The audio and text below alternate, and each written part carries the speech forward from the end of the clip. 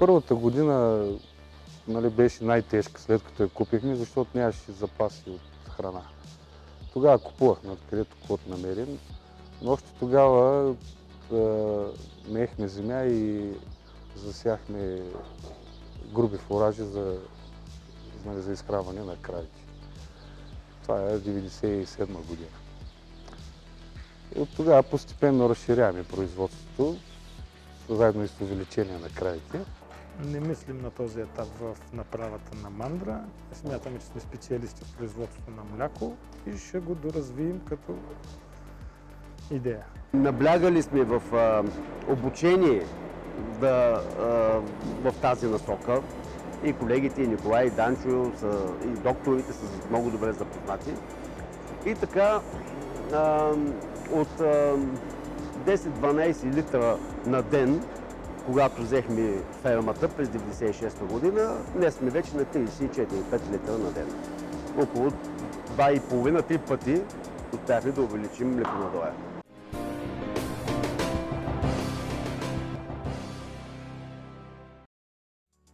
Във фермата в Асеновград отглеждат 380 крави, 325 от които дойни. Породата е най-разпространената в света за добив на мляко – Холштайн. Нямат вносни животни, сами произвеждат юниците.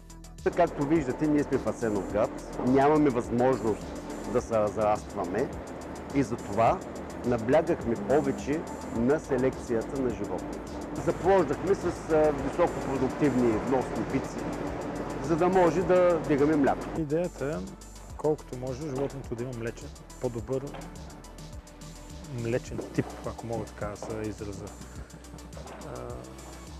По-голяма дължина на главата, по-издължена да бъде, по-нежна, нежно тяло. Има си типични показатели на млечното животно, които трябва да ги имаш. По-нежна морфология. Ако животното е по-грубо, няма как да е произведе, да е толкова близо до млечния тип. Там отиваш повече към месодайния. Съответно няма добри резултати на края на лактацията. При животни с висока генетика, съответно и грижите трябва да са по-добри и по-усилни. Стадото е под селекционния контрол на Асоциацията за развъждане на черношарената порода в България от Добрич.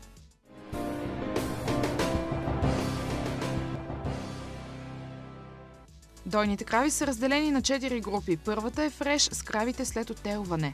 В нея престояват около 60 дни и след това, според млечността, която развият за това време, се разпределят по другите групи. Сухостойните са разделени в две групи. В едната група са си пресушени крави в сухостоен период и 15 дни преди отелването отиват в друга подготвителна група откъдето им се дават допълнителни храни, за да се подготвят за бъдещата лактация.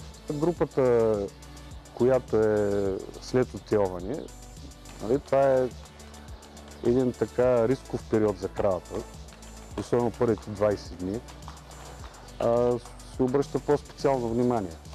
Нали, там с а, изследвания за здравето се следи. А, храната е също специално за тях изчислена. В здравната грижа залагат на превенцията, за да не допускат болести в стадото. Екип от ветеринари обслужва животните. Ние работим в добър синхрон с тях и не е нужно ветеринарния лекар ежедневно да работи като манипулация, по-добре да ги съобщи проблемите, за да може да се вземат необходимите мерки, като рецепта да се променят нещата, за да нямаме проблеми там. По-добре да дадем пари за инвестиция в хранене, отколкото да уморим доктора, да лекуваме без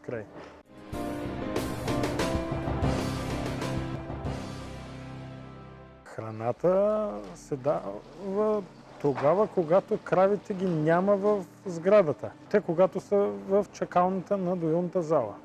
Храната бива раздавана по яслите, животните като излезнат от доилната зала, вече ги им е сервирана закуската.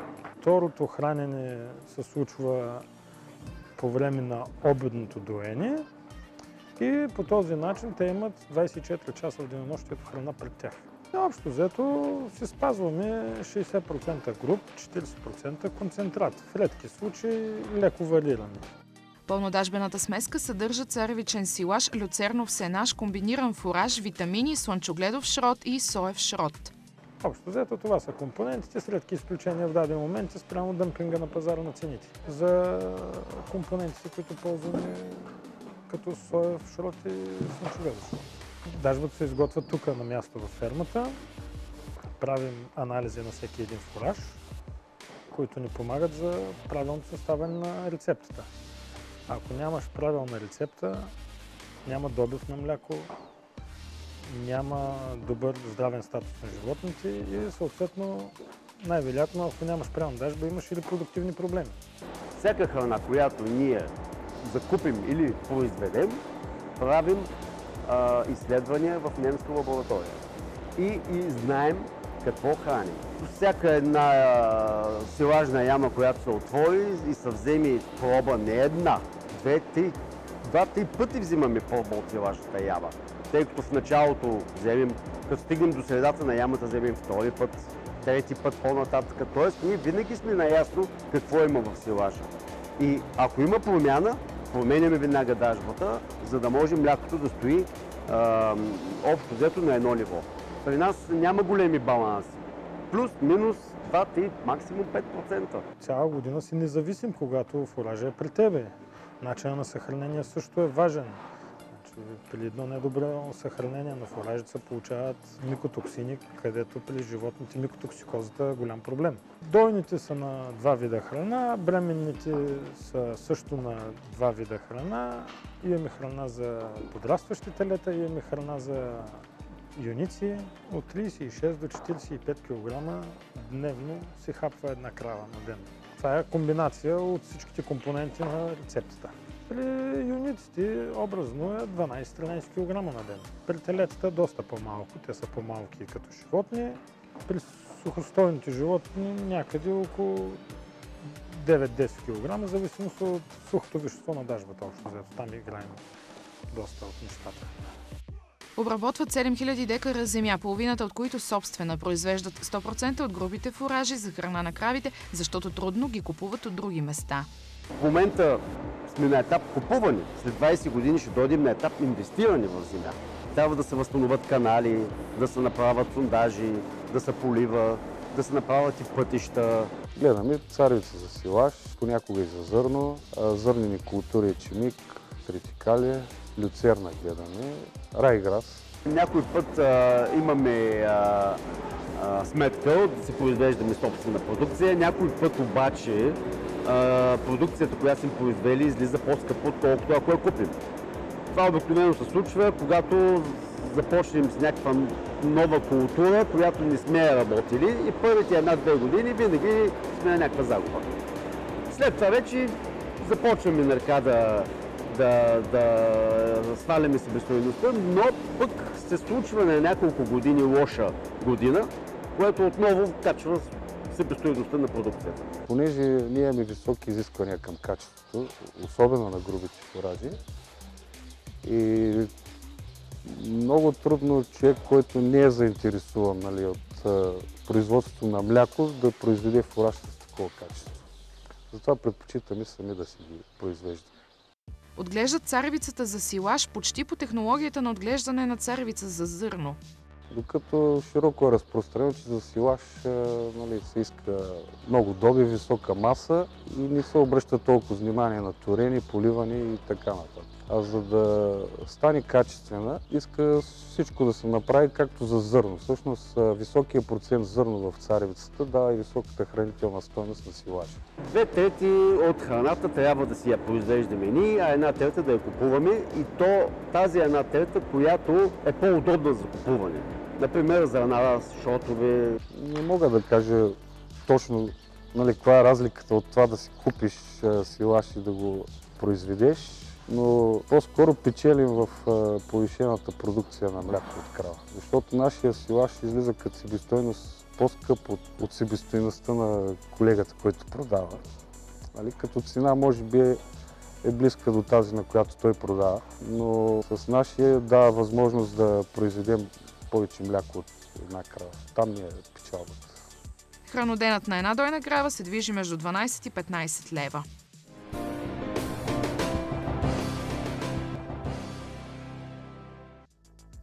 Доят три пъти дневно, три от групите, а нискомлечните животни по два пъти. 24 крави се доят едновременно в зала, тип риба на кост, оборудвана с софтуер. Имат и програма за управление на стадото. При трикратното доение кравите е, увеличават млякото, нали, поред е, литературата, увеличават млякото между 10 и 30%. Тук вече опира до това, че дали разходите, които се правят по това трето доение, оправдават е, допълнителния приход или не. Ние за сега мислим, че нали, разходите са оправдани. При висока млечност на кравите, нали, примерно 20% ако дигнат, е, значителен приход допълнително. В системата може да видим назад как се развива цялата лактация, дори няколко лактации. От първата лактация, която е, може да ги видим всичките назад, като млеконадой, като графики. Добри алгоритми дава програмата, доволни сме от нея.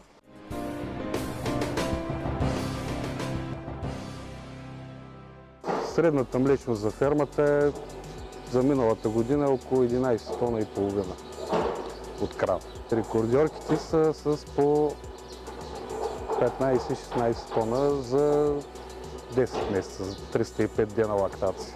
Имаме група, която са високомлечни крави. Там средната млечност е около 47-8 литра от крава. Другата група е с така по-среден млеконадой крави. Средната млечност при тях е около 33 литра. И нискомлечна група, която е средна млечност около 20 литра. В момента смея да твърда, че нашите крави са над средното ниво за, за Европа. Тук продуктивният живот на кравите е около 5 лактации. До момента имаме достатъчно животни, които влизат в основно стадо.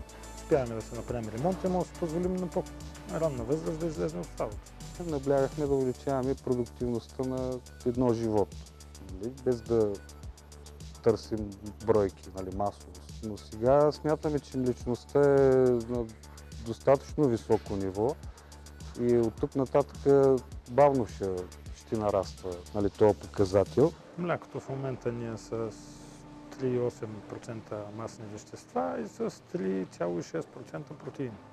Имат годишен договор и продават цялото количество мляко на една компания, която произвежда млечни продукти. Европейския пазар на мляко диктува цената и у нас. Няма какво се заблуждаваме. Цената в Европа висока ли е, съответно и нашата било повишаване. Не може българската суровина да бъде по-скъпа от европейската. Няма кой да ни я купи.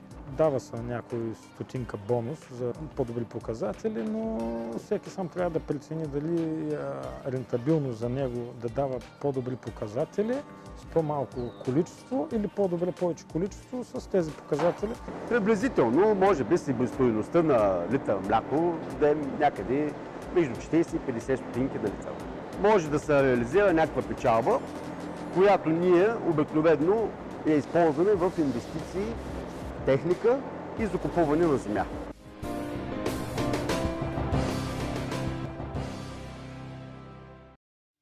Работят с вносна генетика, предимно американска, заради което кравите са по-едри от другите Холштайн у нас. Тежестта им е около 650-700 кг. Използвали са също семена течност от Италия, Германия и Холандия. Осеменяват юниците на 13-месечна възраст.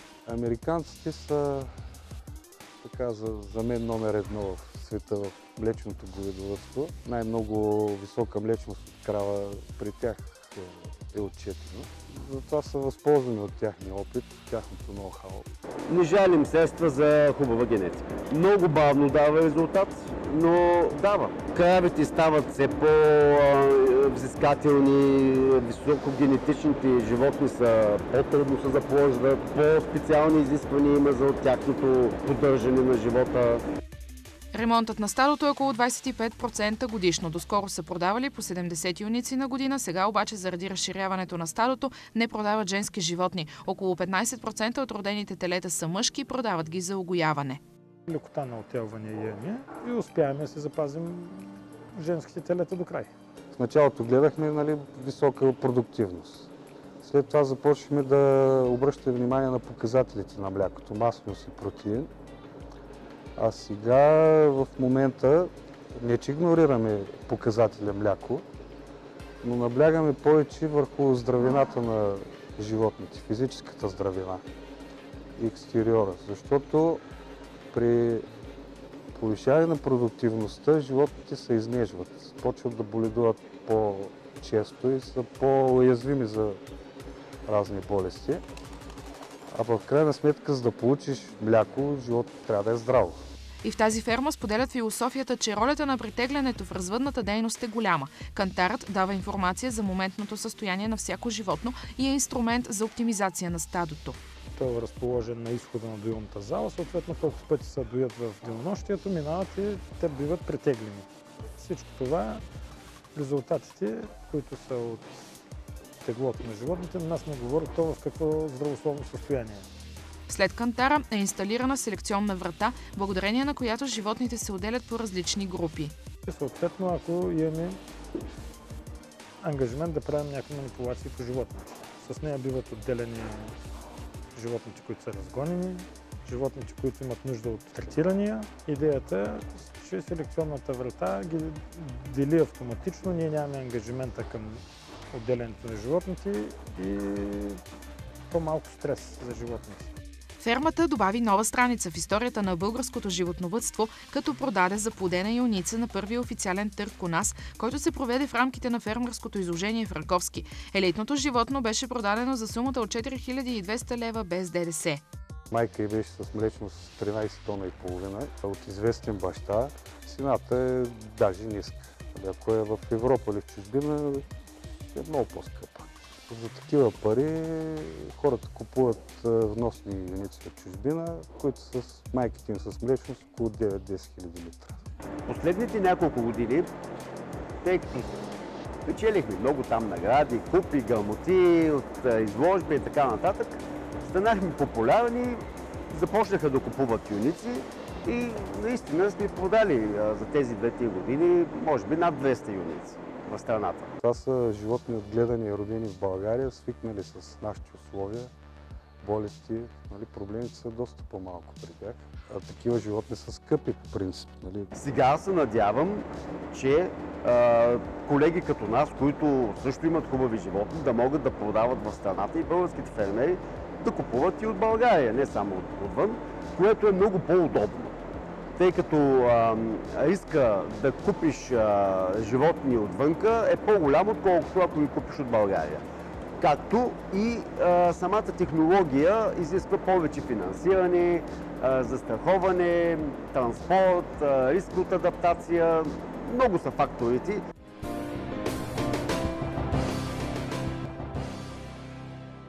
Построили сме още два обора допълнително за дойни крави. В момента подготвяме и още един, който в бъдеще смятаме да го напълним и него с крави. Оборите са отворени отстрани с достатъчно височина. Кравите обичат да има чист въздух много, да е проветриво и да е хладно. Тя ги притесняват високите температури, а не ниските. Затова сме оборудвали оборите с вентилатори, с автоматични скрепери за почистване на тора. Имат съответно прегради на леглата за лежане и четки за почистване на кожата. Върху около 10 квадратни метра се разполага една крава в тези обори. Предстои новият обор да бъде оборудван, там условията ще са още по-модернизирани. Леглата са 1,80 м на, на 1,20 нали, мястото за лежане. И така снабдени са и с прясна вода, питейна, за пиене постоянно. Имаме осигурените фронт за хранене около 70-80 см, да могат спокойно да се хранят без да се конкурират. Работят с фуражо раздаващо смесително ремарке, трактор и челен товарач. Употребата на торовата маса е организирана стрикно. Скреперите събират количеството в торов канал, след което се събира в шахта под земята с обем от 800 кубика. Оттам или с цистерна се измуква и се разхвърля по полето за турение. Другия вариант е, когато не може да се тури на полето, минава през един сепаратор, и който го разделя на твърда и течна фракция. Течната се съхранява в един балон с обем 1000 кубика, а пък а, сухата на площадка, цимент.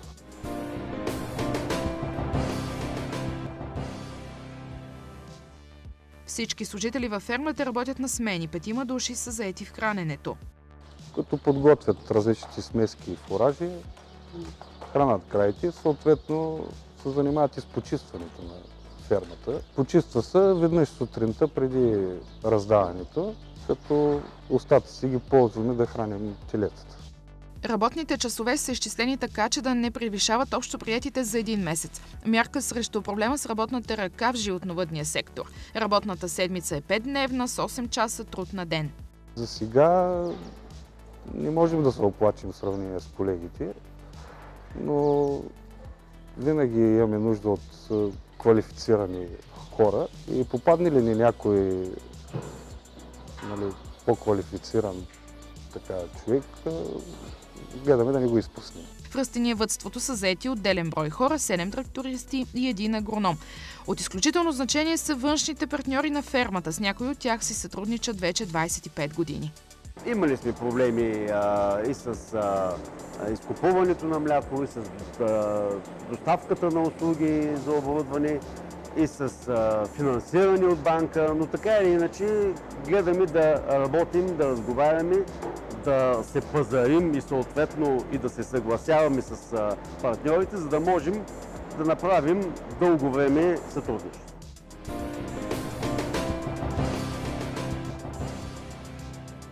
Ако трябва професионално човек да се занимава, трябва да има поне минимум 40-50 крави.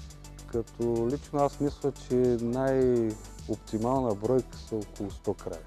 100 крави могат да ги обслужват едно семейство, дори двама души. Ако си наемат един помагач или двама или децата, спокойно, при подходяща технология обаче. Технологиите се променят. Ако преди 50 години рентабилна ферма е била с хикс животни, сега рентабилна ферма може да е два пъти хикс или четири пъти хикс.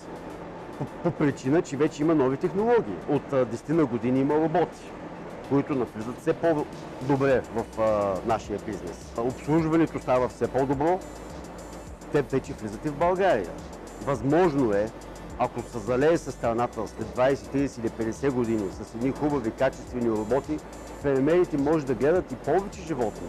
Така че технологията е тази, която ще каже коя ферма си заслужава да бъде рентабилна или не. Залагане на генетика, качествени фуражи, залагане върху хора, обичащи професията и собствено без персонала за никъде. Тя работа тръгнала при нас още от образованието. Ние сме решили на по-млада възраст да се занимаваме в подобна сфера и сме продължили.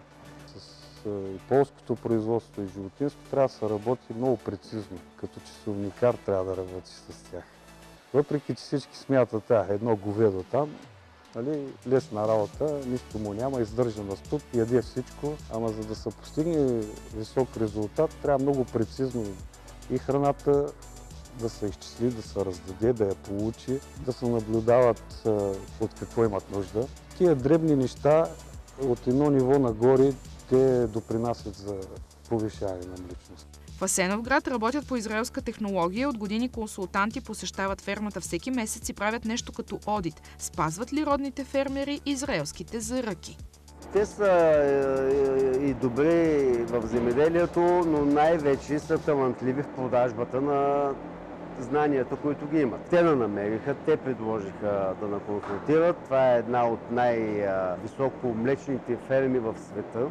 Когато се запознахме с тях преди, може би, 5-6 години, ние на практика удвоихме млякото. Един външен а, консултант, външен човек, така, който разбира, да дойде да огледа, вижда неща, които в рутината не ги не обръщам внимание.